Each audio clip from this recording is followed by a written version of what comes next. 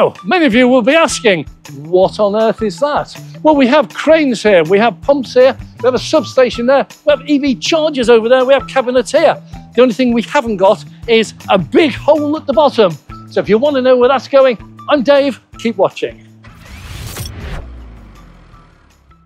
Now, I always thought that these, this is Electric Highway.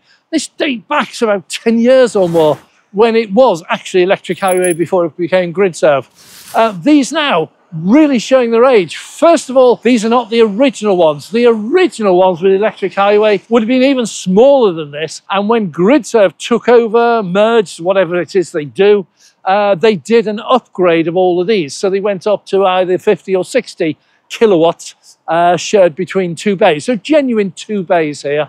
Um, but even these are now shot, starting to show their age.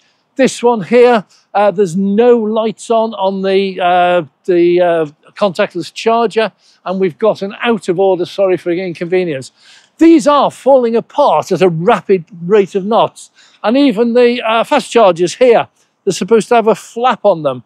Now, it's not a problem with the rain. They don't suffer from rain. You can have torrential rain. These still work very safely. But it's all just starting to fall apart.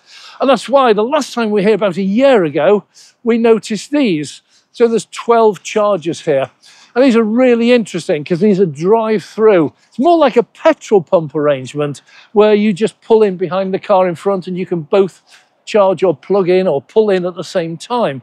So uh, these are really quite interesting. And we started seeing one or two of the Teslas copying this drive-through arrangement. So with these here, these are great for everyone. These are up to up to 350. They were really weird sharing arrangements so they can provide more power than they actually state. It's quite unusual. We talked to the engineers, not sure I quite understand that, but 350, so that means anything on the road today, you can actually chain, charge at pretty much full speed.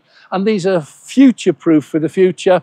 And just a message of warning for anyone who's got a smaller budget EV, which might only have an 80 kilowatt charging rate, perfectly safe.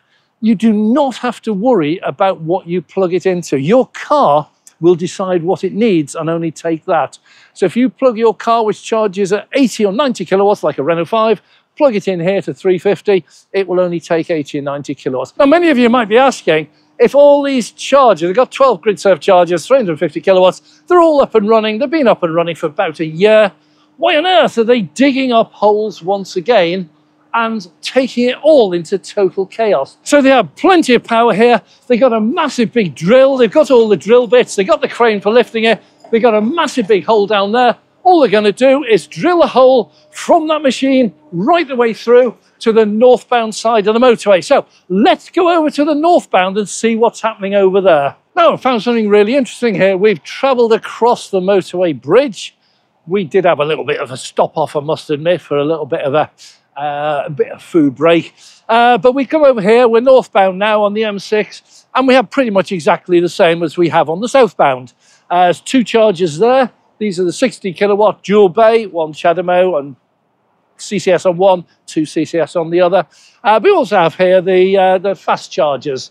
And these are not bad value. These are 22 kilowatts for those cars who can take it. And they're also 49p, which is a lot cheaper than the 89p they are here. So that's what we got here. But this is still really pathetic compared to what's over the other side. So what we're going to do now, we're just going to have a look up here and see what's happening, but not yet happened. And what we have here is a mirror image, in many ways, to the other side. They will be installing GridServe chargers here, the 350 kilowatts. And if it's the same size as the other side, uh, there'll be 12 of them as well and that's a nice location. It's out the end of the car park, so it's well out the way, so you don't get icing. So that's all great, apart from one thing. And that thing is the DNO. And we saw this at Birch Services, where it was about a year before the DNO got round to connecting the chargers. It really is one of the big holdups in the whole of the country when you're putting in chargers. They've actually avoided that here. Now, there's a normal procedure when you're putting in chargers.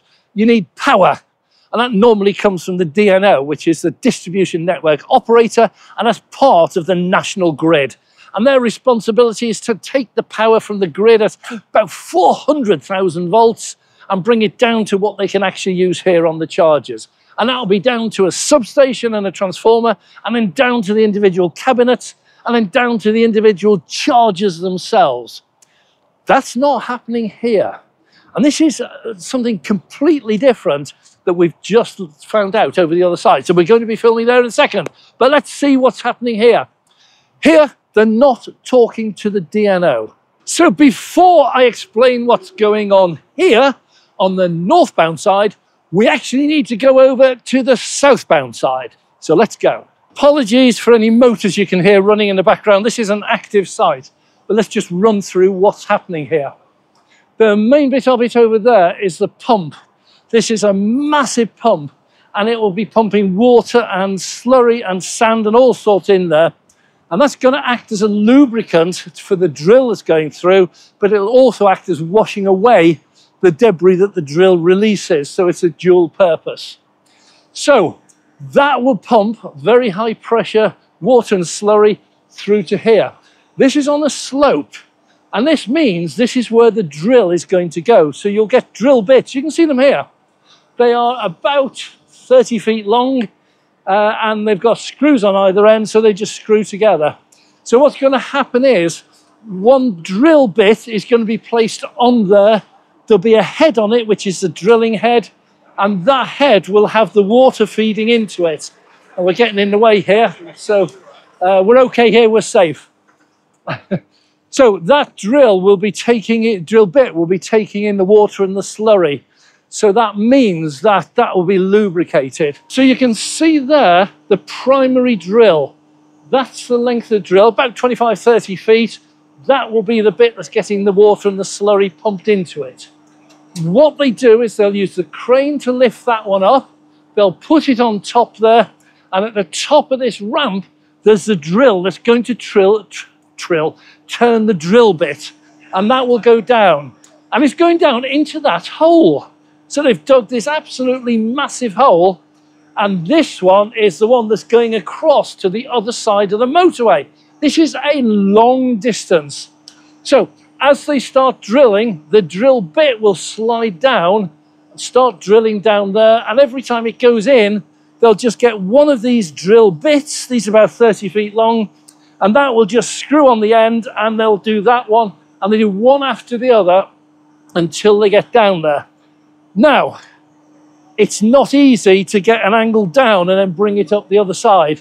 So what's going to happen now is when they get down to the correct depth, and the depth here is enough to get under the motorway without affecting the traffic in any way whatsoever, that drill will turn horizontal.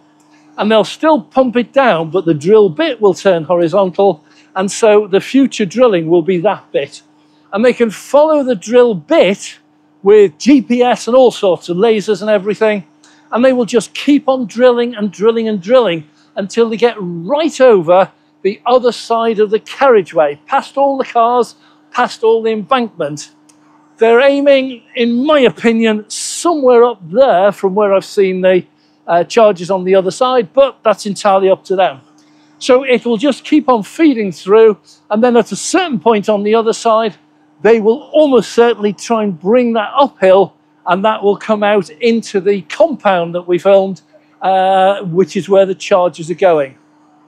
At that point, the easiest way of getting the cable through is to attach the cable to that end, to the drill bit which is popped through.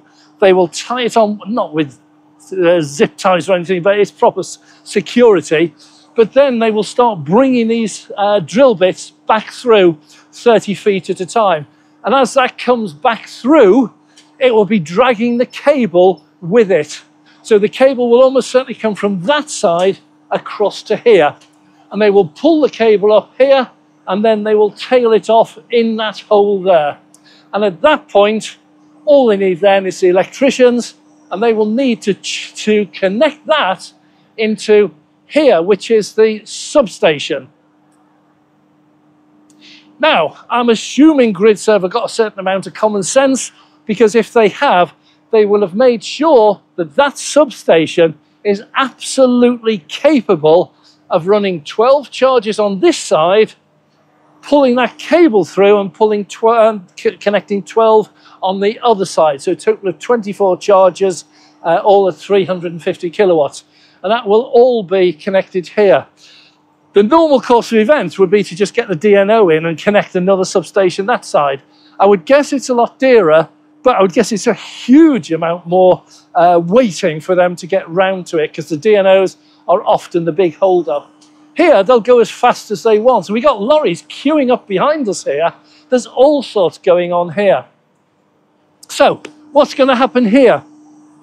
We're talking about three to four weeks to get this drill from there over to the compound on the other side, three to four weeks. At that point, they need two lots of electricians. One is to connect that into that substation, and the other one is to connect that cable into the cabinets. And they'll go directly into the cabinets because this will already have cut the voltage down to the voltage that they need. So they don't need a substation that side. Might be totally wrong. They might actually put one down because uh, direct current is always a, a very lossy one. Uh, there's big losses uh, with inefficiencies if you transmit direct current. Uh, so what they might do here is they might want to transmit it across at a much higher voltage, uh, certainly way above 450. It could actually go three or 400,000, whatever they've got in there, take that across, then put a small substation in and bring it in anyhow. That's entirely up to them, but this is what's happening here. They will either get a substation over there or this will be plugged straight into the cabinets. This is much, much quicker than trying to get a DNO out here to charge, uh, to connect to uh, the charges that are going in over there. So it's nowhere near yet, hasn't even started, but that cable is on its way here. And somewhere in this compound, that cable will pop through underground with this drill mole or whatever you like to call it, water jet, the whole lot. And that cable then will be pulled through and that will go into the individual cabinets and that'll go straight into the chargers. So a much, much simplified installation here. Don't need DNOs, there's power over there. Don't need uh, substations or transformers, that's all over there. All they're doing is just bringing that one big cable across here and that will power the site. It's a great way of doing it. We first saw it in Sandbach quite a while ago where they were talking about one of their methods of getting the cable across the motorway was underneath it. Another one was over the top of the bridge. Uh, so this is obviously one they've chosen here to go underneath the motorway. And will it work? Uh, I'm told that if it disrupts the traffic in any way, they've failed. So we're pretty certain this is going to work first time. Now, isn't it amazing what you find when you get out on the road? So please subscribe, hit the notification bell if you would like, become a member, and we can get out and do more of these. But we're going to go now and see what else we can find today because it's an absolute blockbuster of a day so far. I'm Dave.